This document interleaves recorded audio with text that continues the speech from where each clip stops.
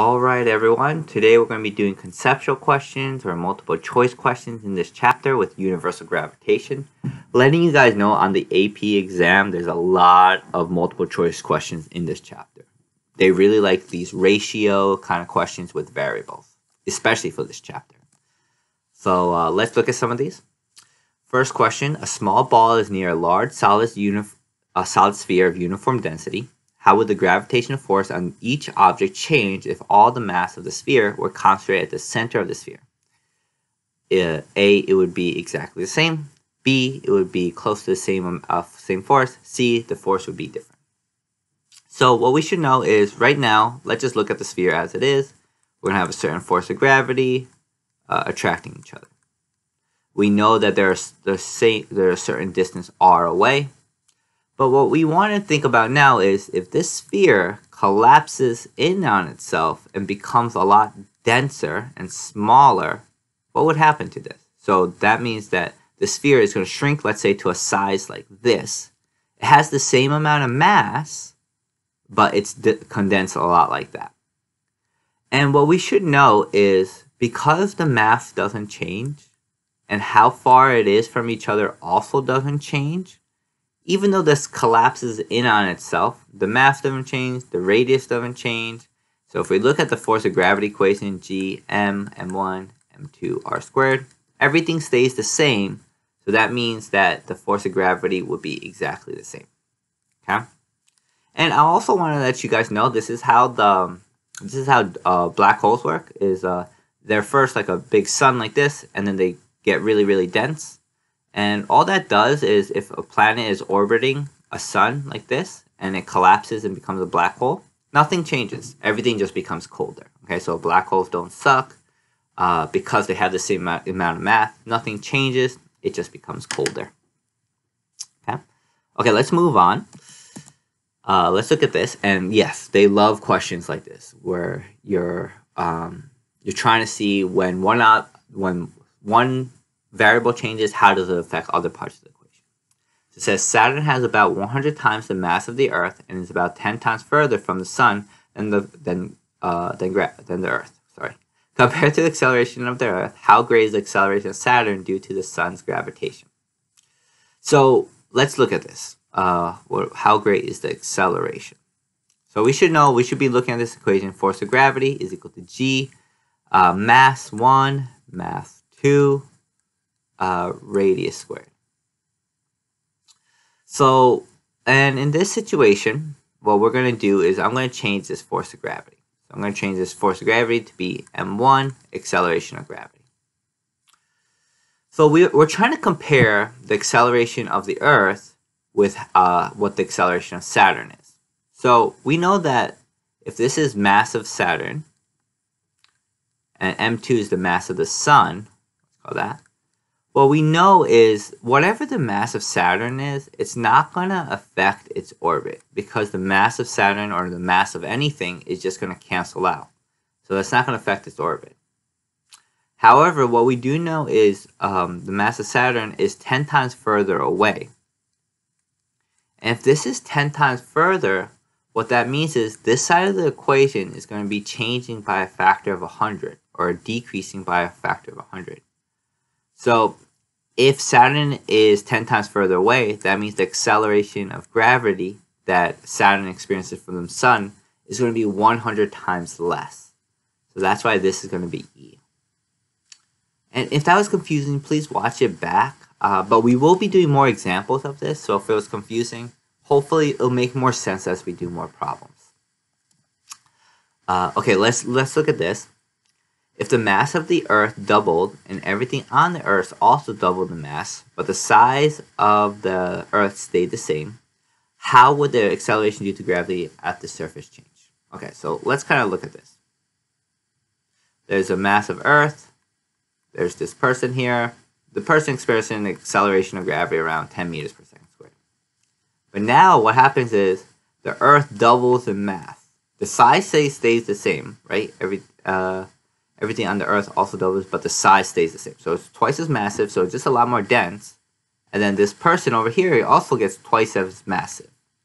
Okay, this is a little m over here. And now let's think about how this is going to change the acceleration of this person. So again, we should be looking at this equation. Force of gravity is equal to g, let's say mass of person, mass of earth, divided by how far they are from each other squared. And since we're looking for the acceleration due to gravity of the person or an object, mass of person times acceleration gravity. Again, we notice that even though the mass of the person doubles by 2, uh, it's just going to cancel out, so it doesn't matter that the mass of the person uh, doubles. We see that the mass of the Earth also doubles, so this is going to change by a factor of 2. And the size stays the same, so nothing changes. So we see that this part of the equation increases by a factor of 2. And what that tells us is this side of the equation has to also increase by a factor of 2, meaning the acceleration of gravity becomes twice as much, or in this case, it's going to be 20 meters per second squared. So it becomes two times greater is the correct answer. Again, watch it again. I know a lot of students have a hard time with this, but try to do it again on your own if you had a hard time. Uh, but we'll be doing a lot of. Okay. A satellite is orbiting Earth. If the suddenly doubles its mass, would the satellite's orbit be affected? Again, let's look at this equation. Force of gravity equals g, mass of satellite, mass of Earth, r squared. So we might think, okay, if it's doubling its mass, right, then that means the force of gravity is going to increase by a factor of 2. And that's true. However, we're not looking for the force of gravity. We're looking at how would the satellite's orbit be affected. So yes, the force of gravity of the satellite would change and of, of the Earth. But let's change this force of gravity to be mass times acceleration of gravity. And what we notice is if we double this by 2, again, it's just going to cancel out. And if it cancels out, that means acceleration will be the same, the velocity will be the same, the period will be the same. So the orbit won't be affected. It'll still be moving around at the same rate and the same way, no matter what the mass of the satellite is going to be. The mass cancels out, so it doesn't matter. So uh, if the satellite's suddenly doubles, if mass, would the satellite's orbit be affected? No, it won't be affected. Okay, let's look at this. Rank the following unknown planets in order from the highest to lowest value of acceleration of gravity on the surface. Okay, so we're trying to find what the acceleration of gravity is on the surface. Again, we're going to be looking at this equation. Force of gravity equals g, mass, uh, mass 1, mass of planet, I guess, divided by uh, how far they are squared.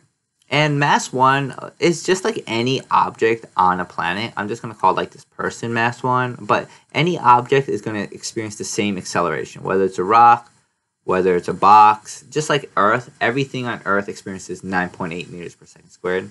So uh, M1 is just any generic object on this planet. And since we're trying to find the acceleration, Again, I'm going to change this force of gravity to be m1 times acceleration of gravity. And since m1 just cancels out, I'm just going to ignore that. Okay.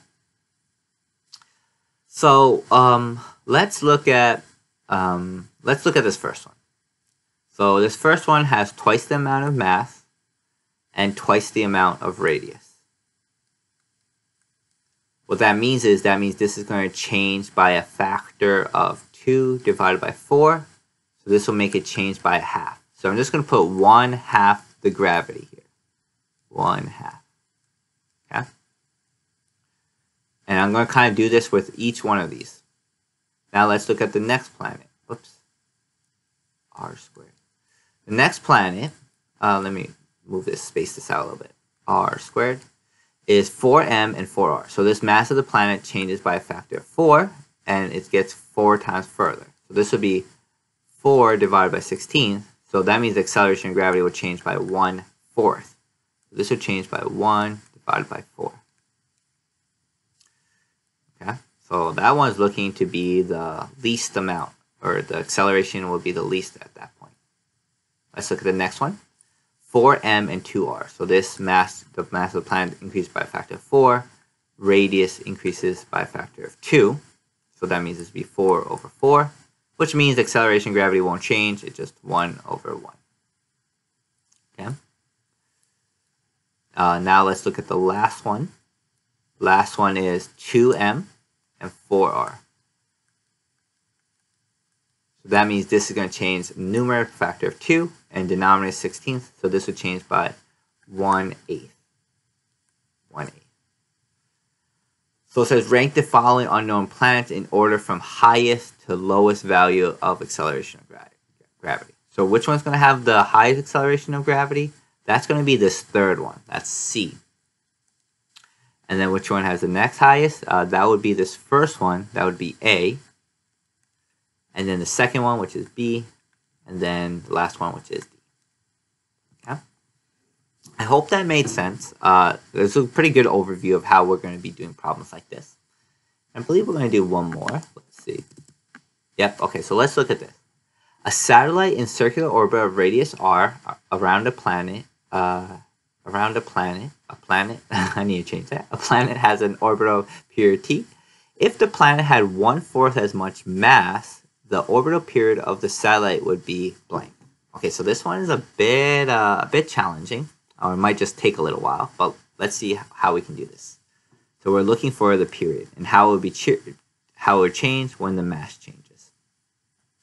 So again, force of gravity is equal to g I'm going to say mass of satellite and mass of planet divided by how far from they are to each other squared. I'm going to change this force of gravity to be force centripetal. So I'm going to make it m mass of satellite v squared divided by r. Mass of satellite cancels out, one of the r's cancel out. So let me kind of erase these things. Okay. And now since we're looking for the period, I'm going to change this velocity to be we should know velocity is 2 pi r divided by t. So I'm going to change this to be 4 pi squared r squared divided by t squared. Okay?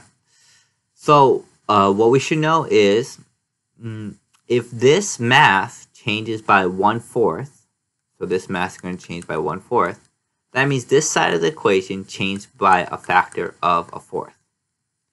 We want this side to also change by a factor of a fourth, and we want to know how the period would change. So if this side changes by a factor of fourth, and this is t squared, that means we need this uh, t to double because it's squared in order for it to uh, to become one fourth. So in this way, what would happen is uh, the period would increase by a factor of two. And that should make sense. If this if this planet or object here becomes smaller, that means that there won't be as much uh, force between them and means it won't be going as fast. So it should be either 2t or 4t, but in this case we find that it's 2t. Okay? I hope that made sense. Uh, if not, please watch it again. There are a lot of questions like this on the AP exam where it's asking you to manipulate variables and see how when one variable changes, what the other variable is going to be. So this is very important to know. Thanks for watching, everyone. See you with the next one with artificial gravity.